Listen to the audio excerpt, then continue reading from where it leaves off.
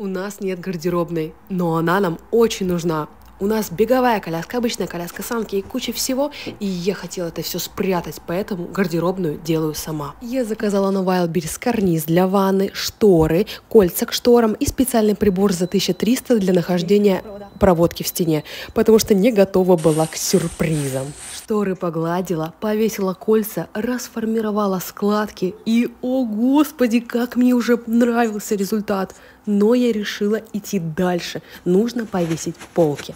Я заказала два мебельных щита, и мы с дочуркой нанесли на них масло и дали подсохнуть. Кронштейны, так же как и карниз, я выбирала супер крепкие, а чтобы не было луж от коляски после прогулки, на пол я постелила коврик сотами.